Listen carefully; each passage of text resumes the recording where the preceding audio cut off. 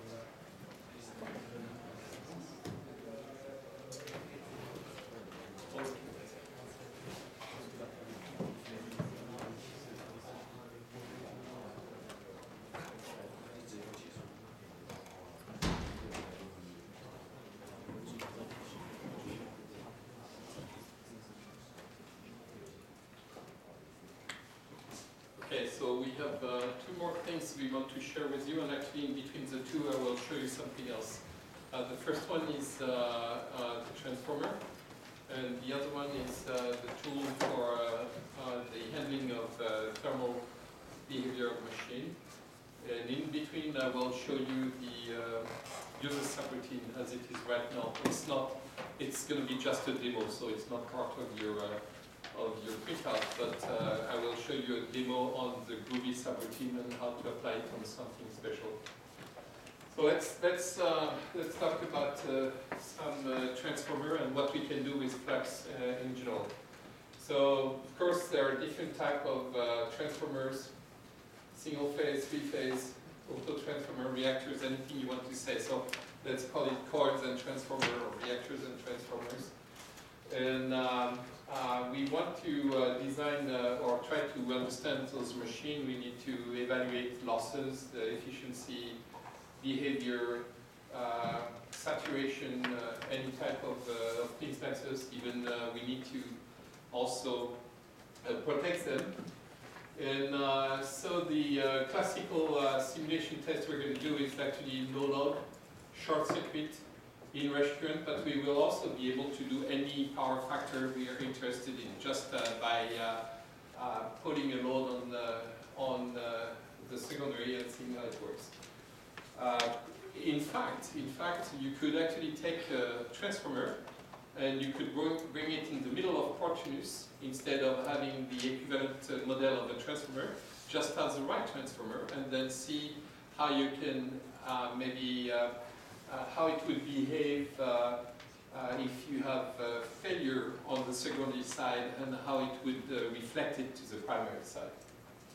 So analyzing what, what kind of analysis we're going to iron losses, stray losses, Joule losses, but also magnetizing reactance, and we're going to try to find the equivalent circuit uh, parameters for the, uh, for the transformers. The other interesting thing is to do uh, thermal or mechanical. Um, maybe some uh, transformer, maybe uh, the coil vibrates or things like this, or you're uh, mechanically you're interested in uh, seeing what's happening if a coil has a very strong force applied to it. And so those one, most of the time we do through third-party tools. Why? Well, it's because if we do the thermal thermal of a transformer, uh, usually, or not usually, but uh, often you have oil-filled transformers, and so you will have convective motion inside the tank, and flux doesn't know, it's not a CFD tool, it's only uh, straight thermal, so for what flux is concerned, if we were doing a thermal, we would probably stop just on, uh, on the surface of all the components and just put uh, convection or radiation coefficient to actually set the losses. Uh, other tools are much better, uh, Fluent, uh, Star CCM, and other type like this. So that's why we would go through third-party physics, multi-physics tool. And if you remember, Vincent uh, showed you this morning that uh, for the next version, version 12, we will have these connections that exist. So we'll be able to extend to all of those things. Uh, for the vibration, you can already start using LMS, LMS Virtual Lab, as uh, that is not limited to rotating motion type of tools. Here we have uh, some references, and in fact we also have a reference uh, in Taiwan, and uh, we have one of the representatives of the company right here, Shilin Transformers. So the geometry, well, uh, that's another big issue, is that, for, for small, and, and by the way, I didn't talk about the power, but you can do from high power to low power, uh, any type of transformer. We also do, I'll show you something that goes for high frequency uh, in a little, uh, a little later. But uh, the geometry is not very easy all the time. So if you take just a small transformer, maybe uh, it's, it's just going to be a very basic type of geometry. But a big machine like this, well, uh, most of the time you have a CAD system, and so this is how we're going to, uh, uh, we, we're not going to enter it directly, but we'll try to import it. And uh, because it's going to be much easier. So, by the way, when you import, then you have other issues. Because there are a lot of things on this uh, transformer, for example, that are here, maybe for mechanical reason, for connection reason, or stuff like this, that may not have an effect on the solution we want to do. The leads, sometimes you cannot ignore them because they may create a distortion in the field locally, uh, but most of the time we'll try to ignore them. Here we have those uh, big, uh, uh we have those uh, screws or uh, whatever goes from one side to the other. those one, well, I think sometimes we just are going to describe them as part of the material, like your regular materials, more than anything else. But uh, there may be some corners, uh, I'm not too sure, some, some funny things happening. And those one we definitely don't want to import them because this is going to create us a very complicated geometry to mesh. but sometimes we cannot avoid to do it. But. The other thing is uh, we can uh, do full or reduced model. And because most of the time we're going to work in 3D.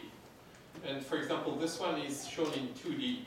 But it, this is uh, this is kind of a transformer. You can adjust the air gap. It's uh, whatever you want to call it. It's more a reactor, power reactor, or something like this.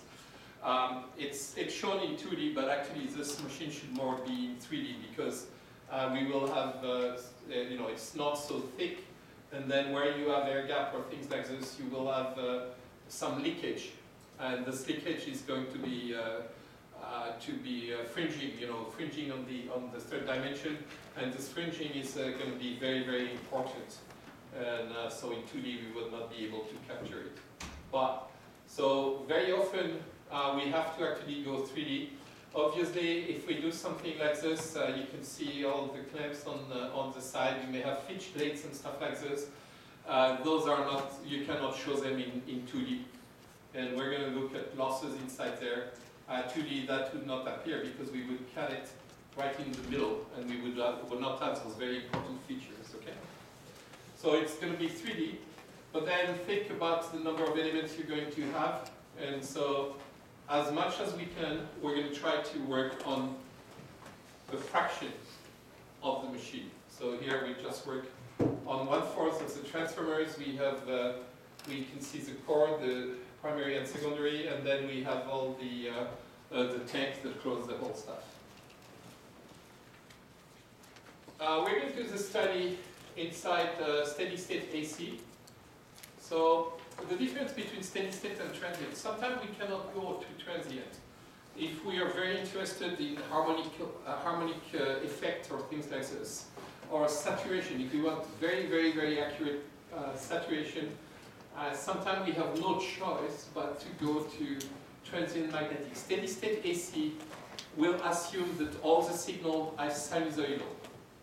But if you really think about it, if you are in transient in, uh, in nonlinear, the flux density variation is not transient, is not uh, sinusoidal anymore, it's an ellipse.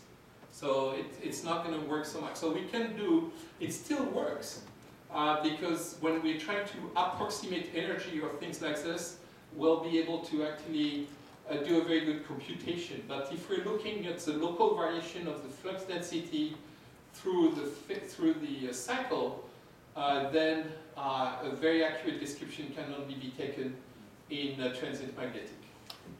So the test, uh, again, short circuit, open circuit rated condition, as I said, it's for a single frequency. Sometimes you could actually work on harmonics by building more of the signal and working with the fact that you can set a saturation in a certain way uh, uh, in the transformer before you apply a higher harmonic, but uh, it's not very recommended. So this one is going to be the full signal, really. And in fact, the one I'm going to show you, I need to do transient because the signal is not at all sinusoidal. And then uh, steady state thermal, okay, for the thermal behavior. Remember, this is without any losses through fluid, it's just one that stopped at the border of the transformer, nothing else. So a little example of a transformer courtesy of WTC. I don't remember what this chance stands for. Do you remember? No. Um, it's a company actually in Australia. Yes. Uh, 150 MVA transformer, 132 kV, 14.1 kV. This is the flux model. So here we can see a few features there. Uh, the clamps, we have actually some other type of ferrures on the side. This is shunts, maybe on the side, uh, to try to mitigate the flux leakage into the um, into the, uh, the, the tank and try to limit the, the, the losses inside the tank. Uh, so those uh, shunt would be there. Um, we see here in this case, in this very particular case, we had actually some connections that were there also. Electric circuit is very easy. We have a primary where we have all the voltage sources, the primary coil, and then we have a secondary where we have the uh, uh, low voltage and all the, uh, the load. Okay? So in this case, it's just a resistive load, uh, no power factor or anything like this. So again, here we have the core, the shunt, they're all laminated. Uh, in this case, they will be non-conductive. Part of volume region. Uh, if we look at it again, those are the shunt lamination, the green part in the middle. So all of this is laminated. Uh, so there will be only a mu, and I, I don't know why it says here, it's a mu, uh, anyway. Uh, the tank frame, or the, uh, it's the tank itself. What we're going to say is that the tank is small enough that we do not have to compute the eddy current inside. Well, that means that the thickness of the tank would be larger than the skin depth inside the tank, okay? Which for magnetic material can actually be very easy to do. So we are going to use a different type of formulation. It means we're not going to mesh the volume, but we're only going to mix the surface, and we'll have a surface impedance formulation on the face. So there will be a mu and a resistivity. Uh, then we have uh, the clamps actually, thin uh, sheet thickness, so SEM IP. Actually, those ones are very thin uh, in this case, so their skin depth is uh, smaller uh, is the skin depth is larger than the thickness of the of the plate here, and so in this case we have another type of formulation. We can still put a face, and uh, it's it's just a different formulation where we compute the uh, uh, the distribution of the eddy current through the thickness, but from the face. And lots of other conductive parts, so solid conductor volume regions, conductive parts, so those would be actually maybe the connection in the back and things like this. And then winding bus bars, current sources, no eddy current, this is just a regular coil with a number of turns. Uh, I brought this here, something we can do, this comes a little uh, in the middle, but I guess you, we talked about it this morning, so I will not go very far. Uh, the point here is that we can actually, um, it's laminated. So if we were going to do every lamination, it would not be possible to mesh and do anything. But what we can do is we can still take into, uh, into account the fact that it's laminated. See here, this is laminated with an air gap. But instead of doing all of this, we'll take one single one, and then we are going to mesh all of this, and we'll apply a special type of material property, laminated properties, and the program is going to compute the, uh, uh, the, the mu, uh, the permeability, cross-lamination, from the characteristic of the material, the thickness of the lamination, and the stacking factor. So the stacking factor will give actually uh, information on the size of the air gap between the lamination. So that's actually applicable. It's applicable uh, just in regular transformer sheet like this, but if for some reason you had a core which is laminated this way, why not, I don't know, uh, you could also do it. So going back to the description of uh, my uh, material from before, we have non-mesh coils uh, for the uh, high voltage and low voltage. Uh, so that's a different type of coils we can have. We don't really care at this point. If we were interested in uh, eddy current or proximity effect computation or eddy current in the coil, then we will have to actually mesh the whole the whole coil. However, this is coming very soon actually. Uh, uh, so, no actually this is a mesh coil without any losses, so it doesn't really matter. But if we have with every losses, then uh, we, will, uh, we will have to do all of this to actually do the whole computation. Okay, here is the model of the transformer. And so now what we are interested in uh, computing are all those uh, impedances uh, in different ways. So we'll see how we can actually look at those. And just uh, give you the uh, information about, so the primary magnetizing inductance, the uh, secondary magnetizing inductance, the leakage on both sides, and of course the losses, uh, that's just the regular losses of the stuff. Um, actually, this show you something that it's this this information is not on the real, uh, on the same type of transformer, it's another one. I'll come back to this big transformer after. But let me just show you this because I think it's an interesting uh, example. So this is um, a kind of a funky type of things. Uh, we have uh, a core here. We can adjust the air gap uh, in it because uh, uh, that is going to help me play on the inductance of the coil and things like this. We have a primary the primary is made of those many uh, turns here, and we have a secondary, which is a big uh, sheet of aluminum. Okay, and here we have actually two phases, so we can get one or the other in this case. Uh, let's see, if we I look at the circuit, here is the circuit. So you can see every single turn of what I showed. So there is one first on the top, one series on the second, on the, on the lower part of the secondary, here is a secondary, which is also made of uh, solid sheet, and on it we have actually a resistor. And then we have a voltage source, and in this case what we're going to do is only power the top part of the circuit, and then we'll keep the secondary part uh, as a closed loop, and we will see if there is crosstalk between the top and the bottom. So we have those uh, resistor here, I'll need to measure the uh, voltage of those things. Uh, if I look at it, this is the source, so I can actually look inside the uh, physics, by the way. Uh, look at the electric circuit, voltage source. Here we go. The voltage source is defined in a nice way here. It's using a trapezo trapezoidal periodical function.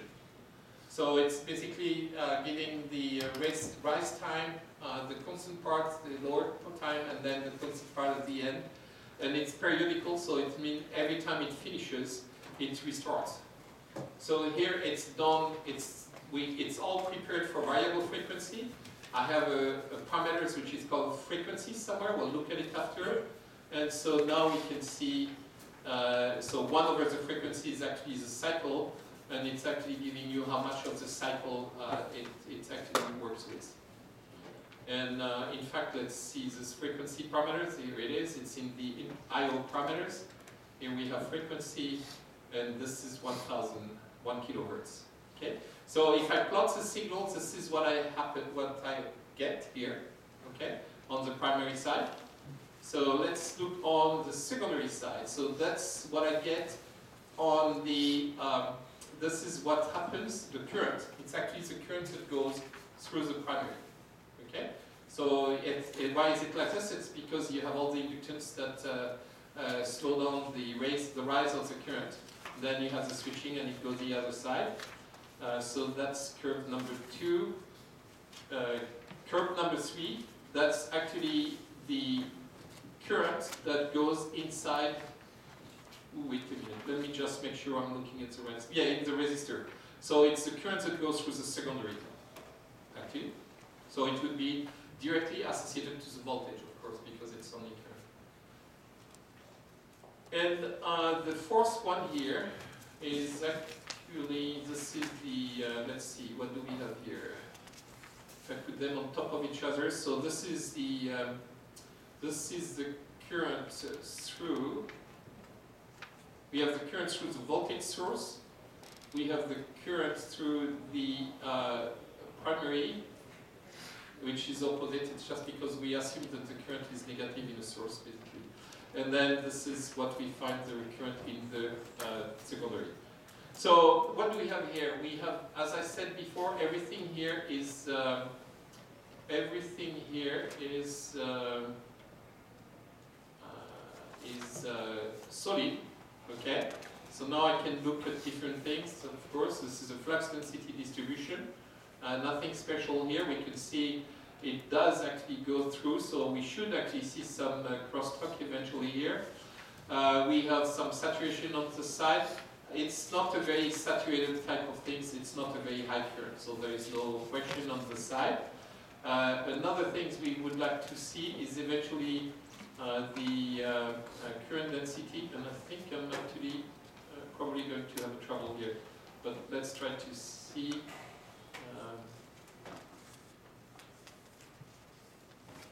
I know, here we go. We have the current, so this is the current density in one of the coil here. I can put it in all of the stuff. So the current, it's a current density, it's a current density because uh, uh, it's, it's not uniform because it's distributed. I have a solid conductor. And so we have a frequency here, and so at different uh, time, it's going to have a different value. So let's, uh, let's try to do this, uh, uh, this picture here with all of these uh, primary coils. So I'm going to take current density. Uh, we'll just first do all the primary coil here first. Uh, so let's go uh, primary. So it's going to be one, two. Well, I don't know where. So I'll just take all the primary. Here we go. No, not what I wanted. Go back to the top here. I should be able to select everything at once. Here we go. Okay.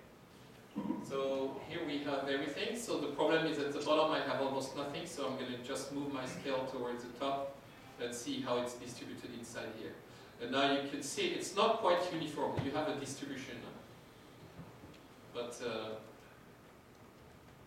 that's uh, that's uh, you can see it's actually distributed as you go.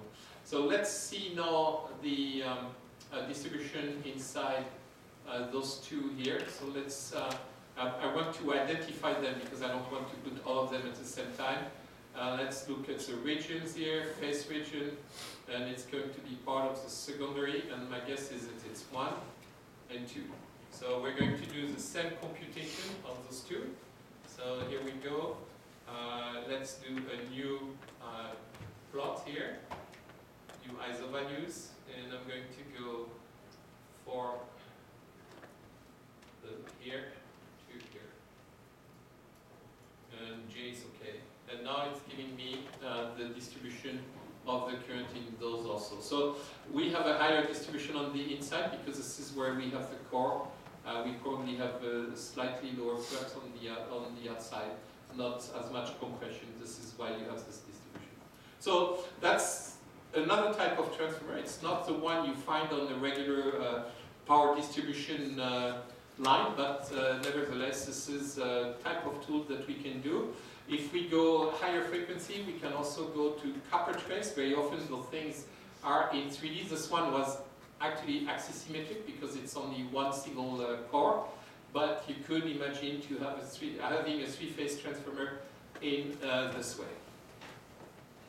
So let's go back to our problem here. And if you remember the, uh, the transformer we did and everything, uh, we're going to first do an open circuit condition. So it means we put a very high resistor here, so we'll have no current at all on uh, the secondary. And, uh, and uh, what we'll have is uh, basically the magnetizing current only on the primary. So out of there we'll do uh, the magnetizing current. The core is going to be saturated, so that's going to be probably a good place to actually compute core losses. And, uh, but the, leakage, we won't have the leakage here. So here is a picture. So as we said, the core is indeed saturated, uh, every single leg, the corner here, even part of the top. Uh, this gives you uh, the arrows of the flux density, so you can see that's for one phase, okay? This is done in AC. Now we're going to look at one single phase. And we can look around through the stuff. So because we have uh, that, we can get some uh, joule losses here on the tank. Uh, we'll see it's probably not the most important part. We'll have uh, the losses of the tank in short circuit that are going to be much more important. The energy of the domain is going to give us a magnetizing reactance. And the iron losses that we have in this case, it's 416 joules. Uh, so out of there, this magnetic energy, we're going to actually create, compute the magnetizing reactors uh, for each side. Now we're going to do the short circuit, and the short circuit uh, will do a very small uh, resistance here. So what's going to happen here? There will be almost no no no uh, no uh, flux density distribution inside the core because we are short circuit, and everything will be, be beside the two coils. Uh, so no magnetizing current in this case.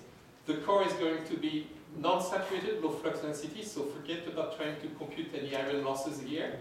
But on the other hand, we'll have large leakage flux, so we'll be able to get the leakage reactance, and we'll be able to compute the losses in the tank. Here is a short circuit, as you can see, nothing is here. Um, we have, uh, except of course in the middle of the core, but that's absolutely nothing. And then you can see the flux actually is not conducted anymore, but it actually goes all over the place. The losses, so the stray losses on the tank are actually almost 14, 1.4 kilowatts. Uh, the energy of this domain here, 1024 joules will give us the leakage reactance. Uh, some other things we can get here, because this is where they are the most important, are the forces on the coil. Okay? And very important because if the coils are not well aligned, it can actually throw the coils out of the, of the place here. And then here we can, uh, well, we'll have heavy uh, joule losses, of course, on the winding in short circuit, but that's going to be the short circuit case. It's not the radio case. So here are the information. Uh, we get uh, the uh, reactive power here, uh, leakage reactance, the joule losses, eddy current losses, well, in the winding. So that's actually would be using a formula based on the radial magnetic induction that we would apply, and stray losses. Here we can see the losses inside the, the text. So all those arrows show you the current distribution inside the inside the the uh, uh, the, uh, the, the tank. That's just to give you an idea of the current, uh, the eddy current losses inside the winding. So this is actually going to be programmed inside the software also, so we, you're, going to be able to get this kind of stuff. Uh, this is, uh, if I have uh, basically a coil which is made of many turns, I have the height A and we have the width B, and then we have a pitch between the coils. I can actually compute the eddy current uh, losses from the radial and axial component of the flux. I'll let you go look at this uh, this uh, formula, it's actually, you can find it in an IEEE paper from 1988. It's a very old formulation. Uh, the uh, Laplace forces, so they will be computed uh, by uh, doing the J cross B on the coil. So if we have the volume on the coil, we can do an integral of uh, J cross B on the coil. Uh, there are two parts to it. There is a DC component and a double frequency component uh, that uh, superimposed. Here you have the different uh, information. Okay, that even gives you the orientation of those losses. Okay. Uh, not losses, forces, I'm sorry. Eventually, we can bring the uh, thermal computation. So, again, the thermal computation on the tank here, it's assuming that we are just doing convection losses on the inside and on the outside, okay? We don't have any oil going around, anything like this. What we put is we put the convection coefficient on the surface. That's all.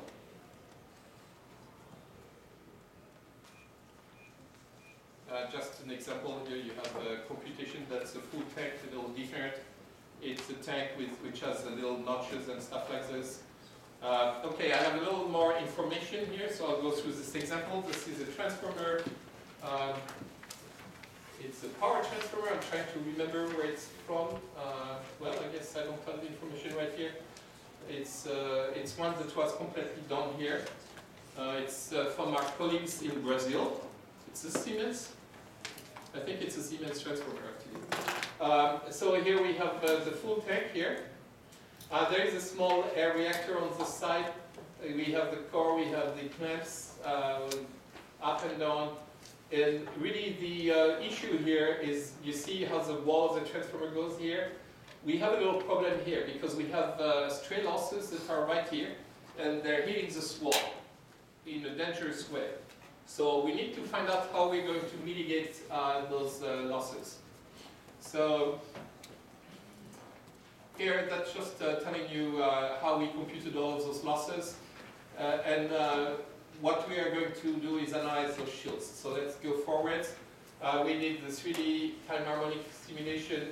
And then uh, we actually did, uh, I do believe we have conducting, but this is actually uh, uh, with uh, surface impedance and things. But let's actually go to the computation we've done. We've done one with no shielding, so no mitigation, so the initial case. We've done a computation with a shield, which is made of aluminum. And then we've done another computation uh, with uh, the shunt. So here, that's the first one with the shielding. Okay, that's, uh, I believe, the aluminum shielding. And this is the one with the shunts, just to show you how it changes. The one with nothing, you saw it, it was before. So here is the externals, the, uh, the circuit. This is the uh, input part. Uh, this is the, uh, so actually, yeah, this was even uh, coupled to the, uh, to the air core reactor. I mean, there were quite a few things that were happening in this stuff. But let's go further. This is the mesh, and let's look at the result. So this is the case where there is no shield, nothing at all. And what we can see is that if we look at the leakage right there, uh, we have tangential component of the flux right here. So it's, it's probably absorbed by the wall and it's going to bring us a lot of losses. Now here is the same one with aluminum. Now what, what they did is it, it actually pushed the, uh, it pushed the field leakage a little further but obviously the aluminum is taking, the shield in aluminum is taking the most of it. So we may have actually a lot of losses inside here. And then let's do the last one, and in this case, we have the shunt, and look how the, uh, the flux densities has actually uh, gone down. And what's happening is that the, the, the, uh, the flux is basically uh, channeled by the shunt, and nothing goes to the tank. So now if we go look at the result, this is the eddy current losses when we have uh, nothing to protect it. Then current in the tank when we have the shielding. So you can see we don't see anything right there. We still have stuff on the, on the side. And then this is the one with the shed. And look, we have absolutely nothing here. Uh, we have a little higher parts right at the top here, but it's very, very localized and probably can be handled much better. And here is the picture at the end, once it's all done. Um, they, this is the case, uh, let's see, this is, this is the final case. So basically what it shows you is behind the, the shunt, which is right here, we only have 62 degrees, up there it's behind the air core. And right there, which is right at the corner, you, if you see the geometry right there, right at the corner, this is where we have the most, and it's very localized. Right there, we have two places with 104 uh, degree centigrade, but you can see that most of it is uh, just uh, in the vicinity of 60, 65 degrees. So it actually mitigates the problem quite well. I think uh, because we're getting close, I'm not going to go much further. Uh, this is uh, uh, this was a case done on proximity effect computation. I'm actually going to skip this one. And let's move to the next thing. So before I do MotorCAD, I really want to show you uh, the. Uh, I really want to show you uh, the uh, uh, the user subroutine and uh, how it's applied to some some uh, motors. So we're going back to the motor at this point. I'm going to just close this. Go back. uh, I'm just going to close completely the program. And I'm going to go back here to, um, let's see, there, and we're going to work on a switch reluctance machine. This one here. So the way the switch reluctance machine is works is usually you have a very very high voltage to try to bring the current very fast, and then uh, the current is modulated so that you never exceed the maximum uh, current. So here is the machine here. Uh, this is, uh, let's see, what do we have? Eight, six phase. Okay, let's uh, look at it from the beginning here, directly, when it was started. Okay, I'll remove this. Here we go. So what do we have here? We have uh, the different, this is the uh, lamination, lamination here. And then we have right there the current, so the winding. If I look at the circuit, here it is. And as I said, we want to modulate the uh, current distribution. So we have a DC voltage, we have the different phases that are here. We have uh, switches that we turn on and off, and then we have diode to do a uh, freewheeling, so that uh, whenever we, we actually turn off uh, a switch, the energy can actually go out. It doesn't, it doesn't stay trapped inside the coil. So now the, uh, the, and then we have a DC link. We just have a capacitance here. Uh, the uh, interesting, the, what, what we want to do at this point is uh, to, uh, uh, to control the opening and closing of the switch. So let's uh, look at, uh, no, you know what, I want to close this and open the other one, or I can do something else. Let's me delete the, all the project result and I'll try to make sure I don't say save. Uh, so here is my circuit here. You've seen the mesh before. Let's see how all of this is controlled. So if I look at the switches here, the different switches, this is switch number one up. So it's telling me the information on how, when the resistance when it's closed, the resistance when it's off, and then it's controlled by a command. And this command has two parts. It has the part that is associated to the position, theta, and so it says that if it's between 6.5 degrees, so if the rotor is between 6.5 degree and 21.5 degree, and this is over, uh, theta is going to be always brought to the 0 to uh, uh, 180 degrees uh, uh, cycle, then this, the current is supposed to work. But then I have another indicator here, and this indicator will turn on and off depending on the current. And so now I need to see how I'm going to control this indicator. So if I look at this here, and let's see, I'm going to try to get ready here. Uh, I want to have the three windows on the bottom. Here we go. So if I look at the switch here, So it's a switch, so it's not a switch, it's an indicator, and it's part of a parameter. Here are the parameters. So parameters we have I, 1, 2, 3, and 4. Well, let's see those ones. Those are basically the value of the current. So I1, it measures the current in coil 1. Uh, I max and I min, well, if I do an hysteretic current controller, I would have a maximum and a minimum. So I switch on and off between the maximum and the minimum.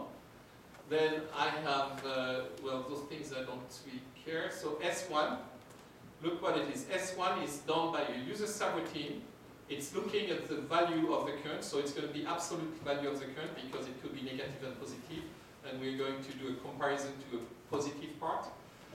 And then it looks at this, it gets the I max and the I min. And then there is a flag. This flag is actually to say uh, what it's supposed to do and things like this.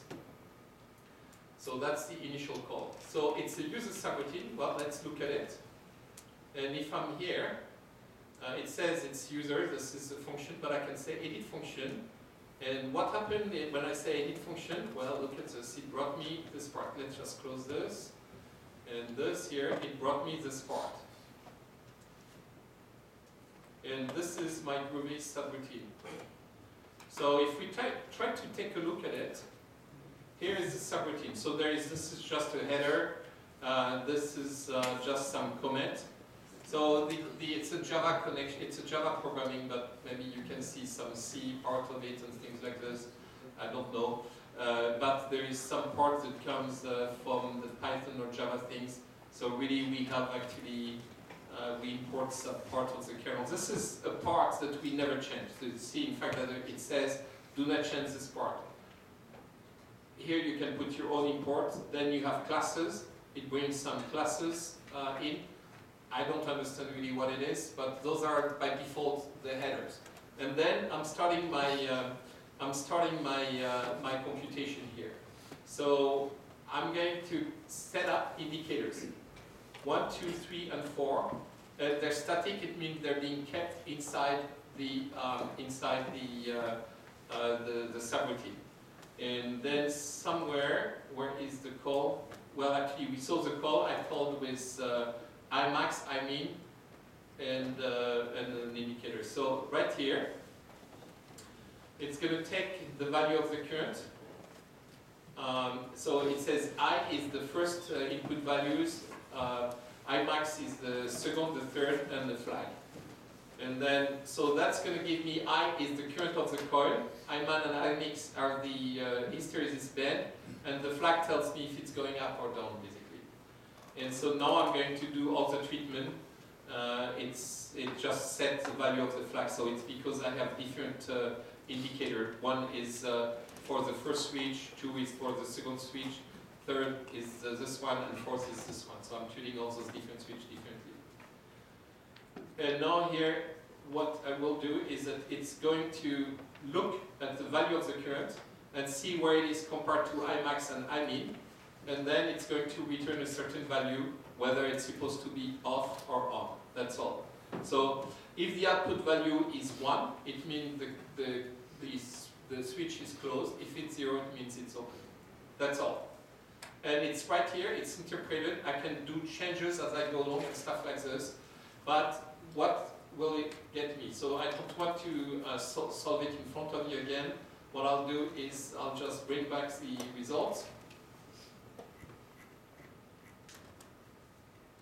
Here we go. And now, doing this, I'm able to control the uh, switching. So first, uh, so that you know I have solved this, here we go. Uh, you can see the, uh, so in this case, for example, it's this leg which is being uh, uh, powered.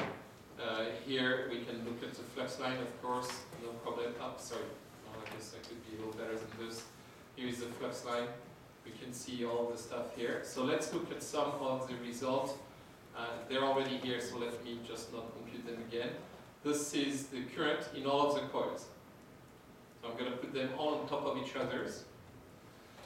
And okay, this is the first one at the beginning. I have another one which is more com complete, but what you can see, and I don't like the color of this coil. Uh, let's see. Yeah, it's going to be too difficult. It's right under there, so I don't care. Uh, let's look at this one now. No, no. Here we go.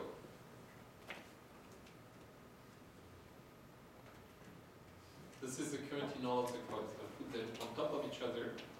Absolutely. And now you can see that uh, I actually have the switching. So the phase, the first phase is on for all this time. Then it starts moving. It's on for this phase, the next one, and the next one, and the next one, and then this one comes back. So why is it shorter and shorter? It's because it's going faster and faster. This is a case where I have a coupled globe, and as it's going faster, the, uh, the control is going to follow at the same time. So realize that here, all of the control is done in flux. It's not done anywhere else but in flux. And if I do a little zoom here, uh, let's see, I'll do a zoom on some part of this here. So here it tells, it gives me uh, the information. Now the hysteresis span is between 100 and 75. So I go off because um, 100 is somewhere around here. It's, it needs to get up, you know, it's, it needs a sampling. The sampling is probably not close enough to actually get the right hysteresis span. But, but you can see the normal, uh, the normal behavior of all of this. And if we look at the torque, uh, that's, I don't care about this one. Uh, that's the torque here. And so that gives me the torque and I can look, uh, I haven't done it, but uh, yes, I think I do have it here. This is the speed. At this point I have not reached the, uh, uh, the, the, the, speed that I want to do. So I just wanted to share this with you because uh, I think this is one of the new possibility. You can do this anywhere you want. So again, I'm just going to delete all the result of this one and show you something. Uh, delete this. If I want to do another type of, uh, of uh, user subroutine, so I can actually do it everywhere. If I enter materials, right there, I'm entering a new material, and inside here I have uh, users, user magnetic properties. And now I can actually define the user uh, coefficient and I, I, can edit my, my routine. So I can do for anything, any variable, any current. If, even if I enter a variable, I can have this kind of stuff. It's one more possibility like all the parameters and all of the things that you have access to. Okay? Okay, so much for Flux. So we're getting to the last part here which is the uh, back on schedule, which is the uh, uh, the uh, management of heat in in machines.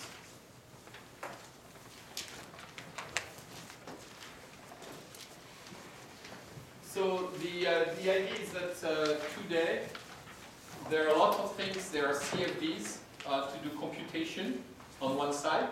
CFDs that are very, very uh, complex to use. They requires a lot of training. They require also a lot of uh, a lot of uh, computing power and a lot, of time to get results.